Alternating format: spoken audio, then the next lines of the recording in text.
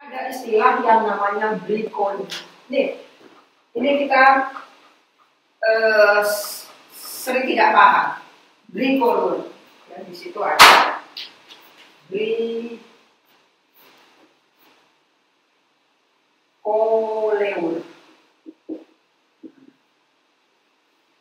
Ya.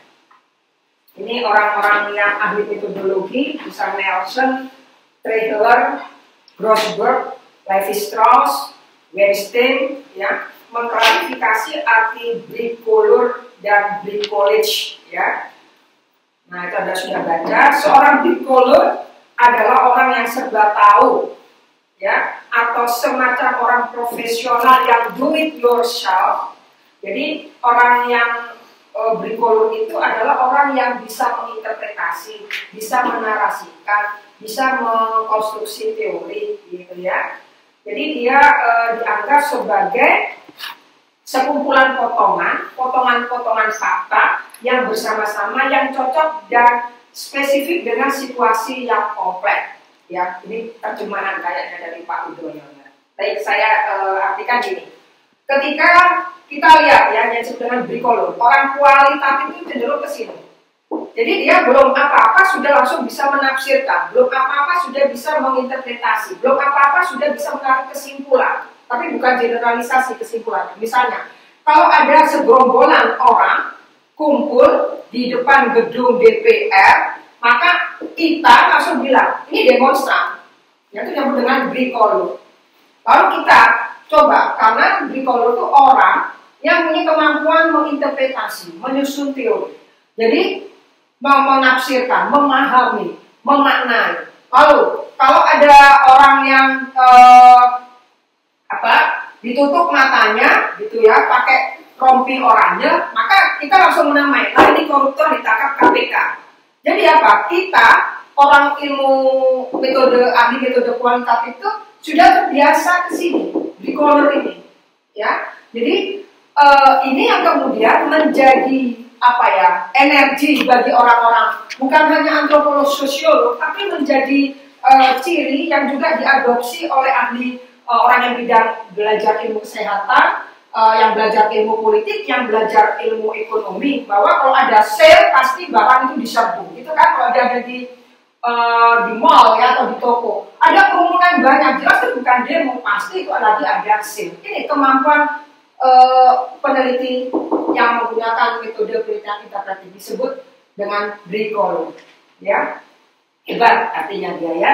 Jadi dia uh, sudah tahu ketika ada situasi seperti apa dia langsung menggunakan sudut pandangnya.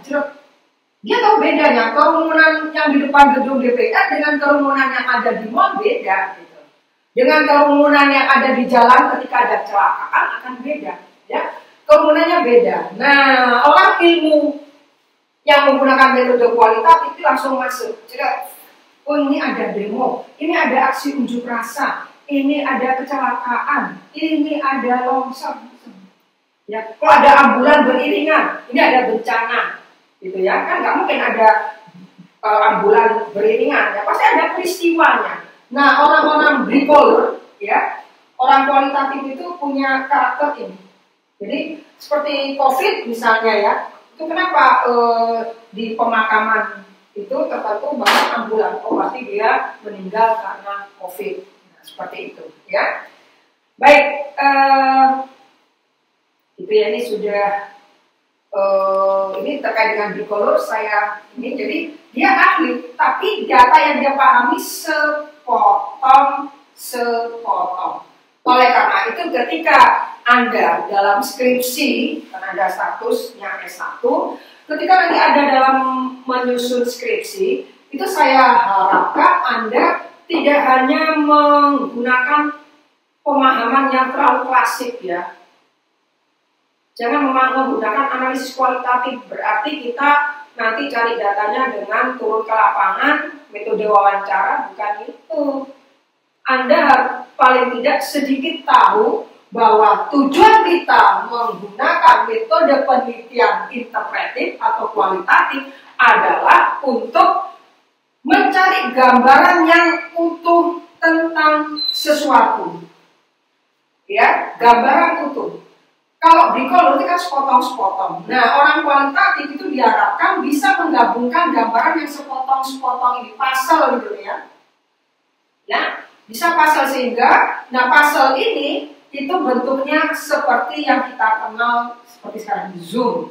Mau di Zoom berapa persen? 20 persen atau mau di Zoom 200 persen atau mau di Zoom 400 kali. Serah maka kalau Anda cuma mampu 20 kali mengesumnya, ya informan Anda cukup 5 orang. Tapi kalau Anda ingin benar-benar menjelaskan data realitas yang sepotong-sepotong Anda ingin dapat beratus-ratus potong supaya Anda bisa mengisinya ke dalam lingkaran ini. Ada frame-nya. Maka ada kualitatif, itu kan ada uh, frame analisis ya. Nah, Anda ini gambaran sepotong-sepotong ya Anda mau ngisi apa di sini ya, pasalnya. Kalau Anda cuma ingin melihat realitas 20% ya udah. Tapi kalau Anda ingin melihat realitas itu 400 kali, maka informan Anda bisa jadi 100 informan, 100 narasumber. Jadi Anda bisa mendapatkan gambaran tentang sepotong-sepotong-sepotong ini dari beberapa orang. Saya kasih contoh. Ini harusnya di mata kuliah proposal ini ya harusnya ya. Supaya anda nanti begitu nyusun uh, proposal itu tahu anda ingin melihat fenomena apa gitu loh ya. Misalnya anda ingin melihat anda tentukan sendiri anda mau buat frame apa figura ya. Figura figura kan sekarang macam-macam ya. Ada yang kotak segi lima ada segi tiga terserah. Anda tentukan sendiri ya anda ingin menggambarkan apa? Tadi saya bilang tentang misalnya apa ya, demonstrasi kekuatan eh, gerakan sosial masyarakat miskin ya, misalnya gerakan masyarakat miskin. Maka Anda cuma pengen tahu sedikit aja. Anda ambil apa? Kasus Kasusnya apa? Surabaya. Surabayanya mana? Anda nggak boleh lelah kan karena cuma skripsi uh, kecamatan Gubeng. Nah, Anda mempraktekkan, Anda meneliti, Anda memotret, Anda mengeksplorasi tahap awal dari metode kualitatif itu dieksplorasi. Satu, eksplorasi. Harusnya Anda di sini. Tapi Anda kadang sama dosen tidak boleh ke eksplorasi, tapi harus masuk ke deskripsi. Ketika Anda nulis deskripsi, Anda semua skripsi itu deskripsi, deskripsi, deskripsi. Tapi sebenarnya deskripsinya bukan deskripsi. Anda sebenarnya tahapnya dieksplorasi. Ini template yang salah tujuh keturunan. Ya dari zaman saya sampai sekarang salah terus. Anda semua nulisnya deskriptif analitis. Analisis, deskriptif, kualitatif, apa itu? Anda cuma bisa menempelkan template tanpa bisa mempertanggungjawabkan secara ilmiah. Ya, kuliah kita itu kan belajar bersama ya, bukan menakut-nakuti ya. Maka saya di sini minta anda apa yang saya ajarkan kepada anda itu adalah pengetahuan yang universal di semua buku itu ada. Jadi ini bukan omongan kosong, ya bukan box saya yang ajarnya ya. Jadi karena saya apa? Saya tidak suka skripsi yang pakai template dalam metode penelitian pakai template. Ya, misalnya jenis penelitian deskriptif analitis. Anda ngerti maksudnya deskriptif analitis? Anda bilang penelitian adalah eksploratif. Anda ngerti maksudnya eksploratif? Apa yang mau dieksplor? Anda ngomong eksploratif tapi di latar belakang masalah Anda sudah jentrek-jentrek kutipannya orang. Salah ya? Ya. Maka Anda tidak dibimbing oleh saya, pasti akan nangis, gitu kan? Makanya saya tidak bimbing Anda, tidak banyak bimbing mahasiswa, tidak banyak menguji mahasiswa. Karena mahasiswa katanya pasti nangis kalau dibimbing dan diuji buahnya. Saya ingin menunjukkan bahwa ketika jadi peneliti di LIPI, di Depdagri, atau di suatu instansi swasta, perusahaan swasta, Anda tidak diketahui oleh kolega Anda atau oleh kepala libang. Karena apa? Anda ngomong eksplorasi, tapi Anda sudah jentrek-jentrek kutipannya sudah ada 50 kutipan studi si A, studi si B loh, katanya eksploratif. Ya, di metode penelitian ngomongnya eksploratif, tapi di sini sudah state of the art. Nah ini kan orang orang waras seperti akan geli dalam membaca proposal Anda, dalam membaca skripsi Anda. Tapi Anda kalau deskripsi, permasalahannya juga nggak cocok. Masa dalam deskripsi perumusan masalahnya bilang apa yang menyebabkan atau apa latar belakang terjadinya gerakan. Masa pertanyaan sudah deskripsi, pertanyaannya latar belakang. Apa latar belakang e, gerakan sosial itu? Nah, ini nggak nggak boleh latar belakang ini sudah pemasis masuk ke latar belakang permasalahan penelitian Anda. Yang dalam prosedur penelitian itu memang di mana-mana seluruh dunia itu namanya LBM latar belakang permasalahan atau rasionalisasi permasalahan.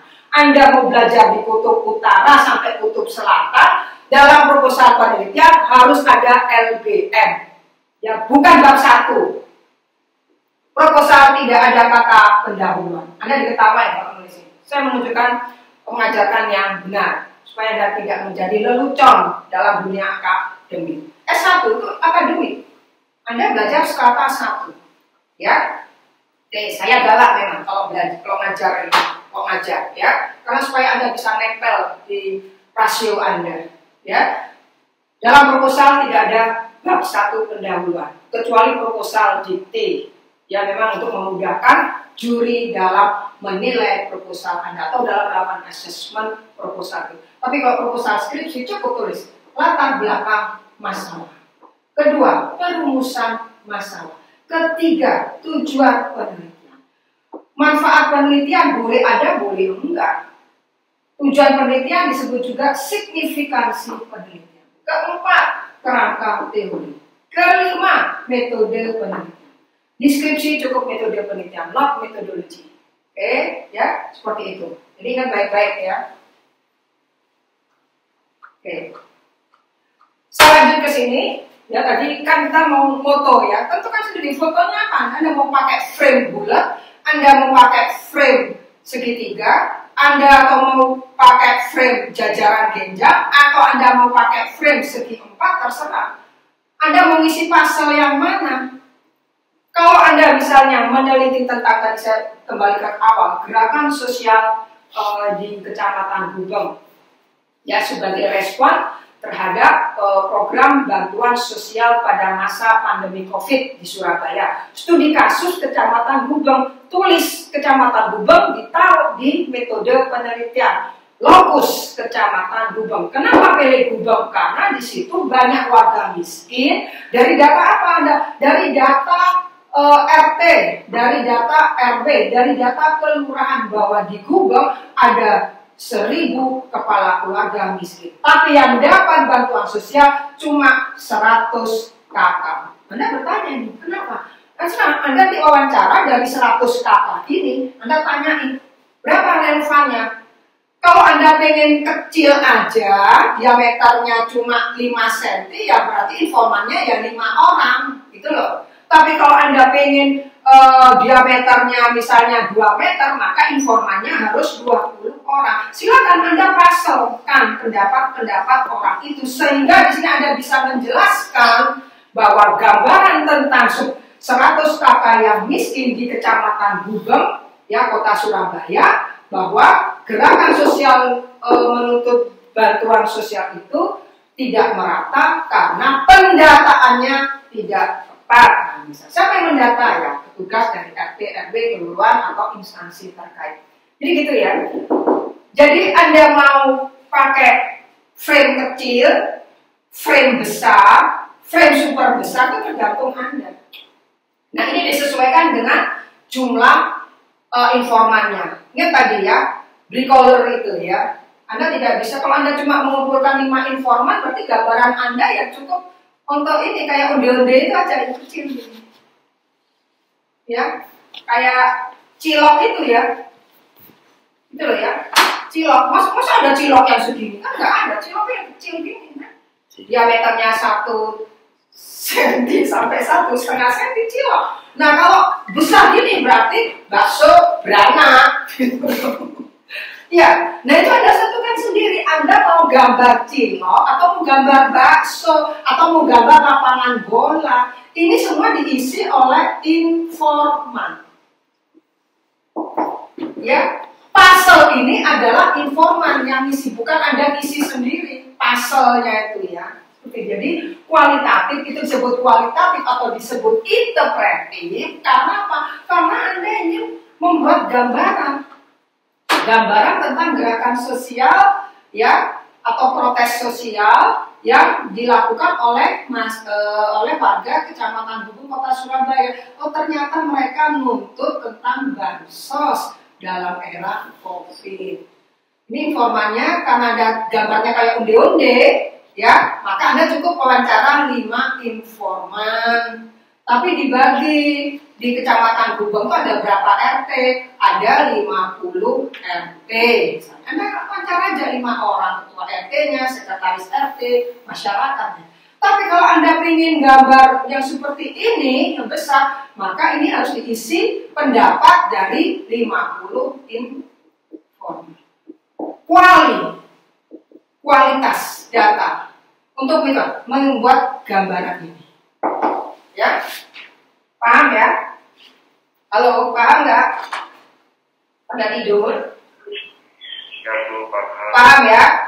Jadi di proposal skripsi, Anda mungkin sudah ngambil proposal, ya kesalahan-kesalahan secara metodologis jangan diulangi, gitu ya. Jadi eh, saya juga tidak menerima protes, ya. Pikir saya ngajarnya tidak benar, gitu. Karena Anda sendiri yang tidak mencermati. Baik, sampai sini ada pertanyaan? Ada pertanyaan baik, eh, 10 menit lagi. Nah, kalau pertanyaan SPM gimana ya? isi. Jadi kalau 3 SKS ya harus 150 menit. Sampai BBM program. Oke, uh, saya balik lagi ke bricolor ini ya. Kata-katanya ini. Bri, brico, Kata kunci dalam metode interpretif di sini. Ya, jadi uh, karena uh, apa namanya orang-orang itu adalah kita supaya tahu bagaimana di sini periset. Periset itu periset. Periset itu peneliti ya. Kata-kata riset itu sebenarnya untuk ilmu sosial itu tidak diperkenankan. Maka orang-orang di kualitatif di ilmu sosial nggak dulu jarang ngomong riset ngomongnya penelitian. Yang riset itu adalah eksakta. Ya ilmu-ilmu non sosial itu yang boleh melakukan riset. Research, research, ya. Nah kalau kualitatif kan bukan research, ya, cuma wawancara, cuma studi apa kalau di antropologi studi arca gitu loh, studi ya begitulah, ya barang-barang goib gitu loh, ya, ya. Jadi nggak sebut riset, peneliti, jadi diteliti, diteliti, teliti itu berarti harus akurat, ya Oke, uh, di sini periset itu harus memang ada ada proses yang bersifat interaktif. Prosesnya interaktif, ya, ya uh, macam-macam. Di sini ada apa? Kalau niti gender ya harus intensif tentang gender. Kalau tentang kelas sosial ya harus intensif tentang kelas sosial. Kalau dengan kultur ya harus intensif jadi tentang kultur semua. Ya ras, etnisitas, orang-orang yang dalam ruang lingkup penelitian ini harus Anda pahami semua. Beri color, ya. Jadi Anda harus menentukan informan itu berdasar beri colornya Ya. Jadi kalau Anda ingin tentang ketimpangan kelas sosial di masyarakat, maka Anda harus mencari tahu orang-orang itu siapa aja dalam memotret ini Anda. Nggak cukup hanya uh, mahasiswa, nggak cukup hanya uh, buruh, gitu. Tapi Anda harus memasukkan kelas sosial yang macam-macam. Ada dosen, ada mahasiswa, ada pekerja seksnya, ada buruhnya. Nah, ini beri kolom. Ya. Oke. Okay. Uh, mudah-mudahan uh, ini Anda bisa paham ya. Jadi, jadi maksudnya saya memberikan pengantar ini adalah sebagai cara kita masuk dan supaya Anda semua tidak salah kaprah ketika Anda nanti memilih metode interpretif untuk uh, melakukan penelitian skripsi untuk skripsi ya. Ini. Jadi saya ulangi, bricolor, bricolor itu ya. Jadi tadi saya sudah memberikan gambaran kalau kan Anda mahasiswa ilmu politik, pas nanti Anda riset tentang banjir, tentang kemiskinan, tentang konflik sosial, orang anak-anak mahasiswa ilmu politik kan sebenarnya tentang konflik, gitu ya, tentang uh, apa lagi ya, konflik, terus Oh, gerakan sosial. tentang gerakan sosial, kandidasi tentang kandidasi, BUM. representasi perempuan, BUMDes. afir- afirmasi action, BUMDes. Bumdes, ya bukan hanya itu ya. Penelitian kualitatif ilmu politik itu kaya semua hal, kembali lagi ke tadi Rene Deska, semua yang Anda lihat, Anda perhatikan. Kan gara-gara Rene Deska itu, ya Bapak filsuf rasio, ya. Ketika dia bilang, karena bricolering, fondalisme. Jadi kalau lihat mahasiswa kumpul-kumpul di kafe, lebih dari lima orang, namanya apa? Tapi beda ketika mahasiswa kumpul-kumpul di jalan. Ini di kafe, lima orang, sepuluh orang, lima belas orang, nggak apa-apa. Paling dibilangnya apa dalam konsen bricolor? Lagi ultah, lagi traktiran, lagi syukuran karena Anda sukses. Jadi mahasiswa teladan. Tapi kalau ada 15 mahasiswa kumpul di jalan, namanya apa dalam perspektif bricolor? Namanya adalah aksi unjuk rasa mahasiswa. Dilihat lagi, dilihat dari jaketnya, ada jaket merah, ada jaket kuning, ada jaket hijau, ada jaket biru, jaket hitam. Ternyata ada mahasiswa ITS dan ada mahasiswa UNER karena jaketnya sudah mirip UNER sama ITS sekarang, gitu ya. Nah, ternyata Anda bisa menuliskan bahwa mahasiswa UNER ikut aksi unjuk rasa terkait dengan penanganan pandemi. Nah, misalnya itu itu toh. Ya. Apalagi gitu ya. Jadi bricolor nih. Jadi yang diwawancara nanti bukan hanya eh, mahasiswa ini tapi masyarakat. Apakah masyarakat tahu bahwa jaket-jaket alma mater itu adalah menunjukkan sebagai identitas universitas masyarakat mungkin ada yang tahu ada yang enggak. Tapi masyarakat menilai tuh ada 20-30 mahasiswa jaketnya warna-warni di depan gedung DPRD Provinsi Jatim. Ada apa?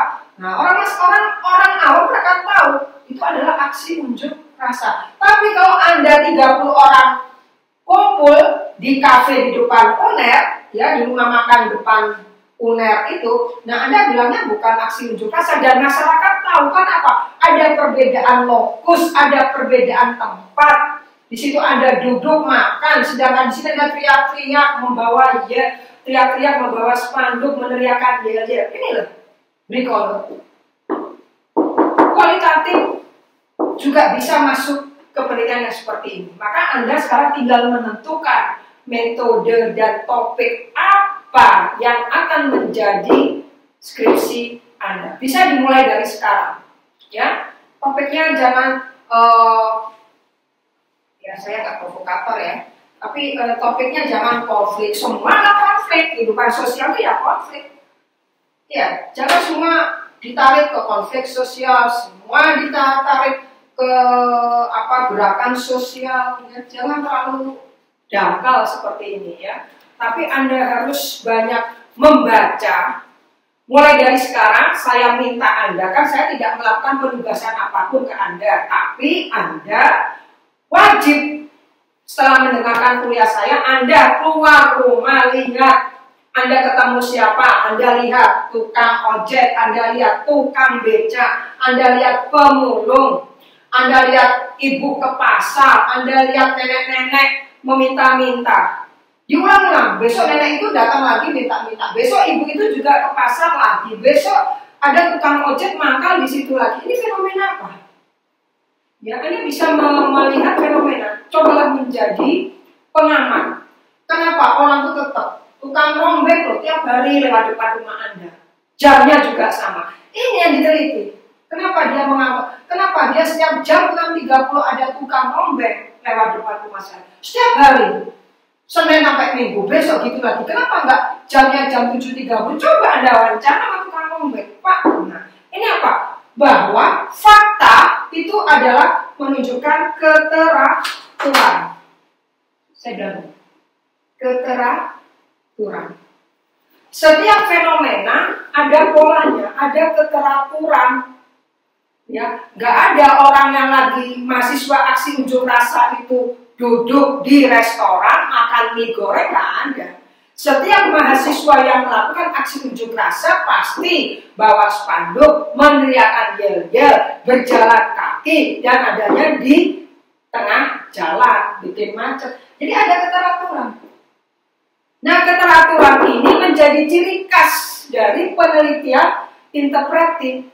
Karena apa? Dalam penelitian interpretif, Anda akan bilang, saya mencari pola aksi unjuk rasa. Saya mencari model resolusi konflik. Saya mencari atau menyusun uh, kebijakan terkait dengan fenomena konflik. Ini karena fenomena itu tidak ada polanya, keteraturan. Kita membunyikan. Ini keteraturan ini disebabkan oleh apa? Ini dulu cuma jadi ranahnya antropologi dan sosiologi, tapi sekarang orang ilmu politik juga bisa mengikuti jejak penelitian, jejak metode yang digunakan oleh antropolog dan sosiolog. Ya, nanti di dalam penelitian uh, interpretif, Anda juga saya ajak ke, uh, untuk kuliah lapangan. Kita akan ini ada satu SKS ya untuk kuliah lapangan. Jadi Anda berlatih membaca gejala sosial, ekonomi, budaya, politik. Anda boleh meneliti apa aja sejauh perspektifnya atau metode penelitiannya adalah interpretif. Anda mau meneliti uh, fenomena atau gejala sosial, budaya, boleh aja. Sejauh itu Anda menerapkan dengan benar penelitian metode interpretif.